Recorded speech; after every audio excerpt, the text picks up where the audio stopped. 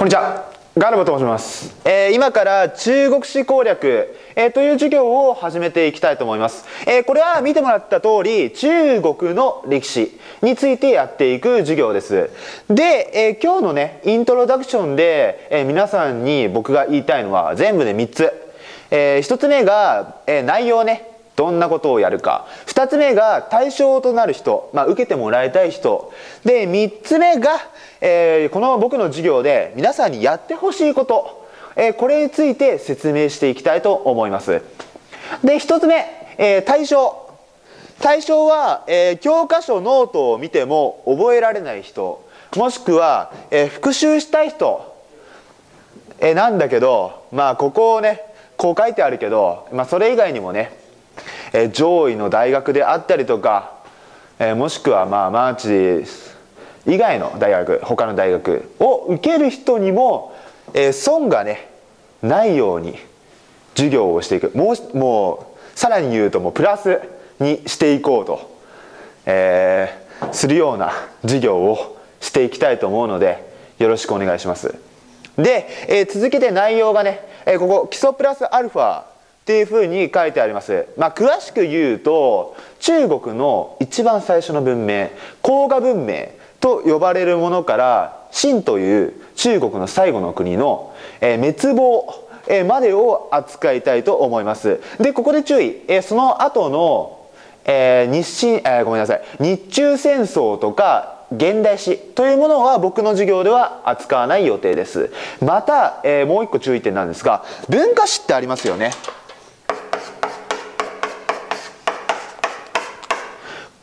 これは、えー、一通り取り終わった後に付録としてと、えー、挙げたいと思います。どういうことかっていうと、まあ、さっきも言ったように、えー、黄河文明から秦までをやるって言いましたよね、えー、その、えー、歴史を授業をバーッと取ってその後に文化史っていう、えー、付録の名前名前を授業につけて、えー、それを授業、えー、ネットにアップしますので、えー、それを見て勉強してもらえたらなと思います。で、えー、ここね、えー、基礎は分かると思うんだけどこのプラスアルファって何なんだっていう話なんだけど、えー、これはね、えー、早慶上智、えー、東大一橋、えー、その他の大学の、えー、に過去問とか見て、まあ、入試にね対抗できるような情報をいろいろと、えー、授業の最中に喋っていきたいということです。はい、えー、で最後にやってほしいことこれは全部で3つあります。1つ目が、えー、メモですね、まあ、どういうことかっていうと僕の授業ね黒板に書いてないんだけどいろいろとぺちゃくちゃ喋ります。もういろいろと喋ります。でそのね喋ってる内容から結構入試にね出てたりするんだよね。だから君たちにはその自分が、えー、君たちがね重要だと思うこととかもしくは僕がここ入試に出てたよって言ってるような話っていうものをノートに自分でねメモしていただきたい、えー、ということなんです。えー、めんどくさいと思うけどよろしくお願いします。えー、続けて2つ目が、えー、質問の答えを考える。どういうことかっていうと僕授業で結構皆さんに「これって何で起きたの?」とか「これって何が、えー、何何かな?」とかまあいろいろとね質問をしていくんです。まあうざいかと思うんだけど、えー、その質問のね答えを皆さんえー、頭の中でちょっと考えてもらって、えー、そしてから僕の授業のなんていうの質問の答えというものを聞いてもらいたいんですね。でなんでこんなことやるかっていうとそういった、えー、疑問を考える力っていうのがその歴史の入試を解く上で最も大事な力だと僕は思ってるんです。だからこのえー、質問の答えを考えるということを皆さんに積極的にねやっていただきたいです。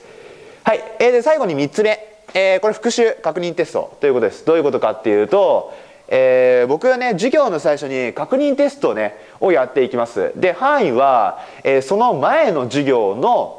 え内容つまり第3回の授業だったら第2回の授業の内容の確認テストを第3回の授業の最初にやります、えー、ということなんです。だから、えー、次の授業を受けてもらう前に前回の授業の復習をね必ずしてから、えー、授業を見てもらいたいということなんです。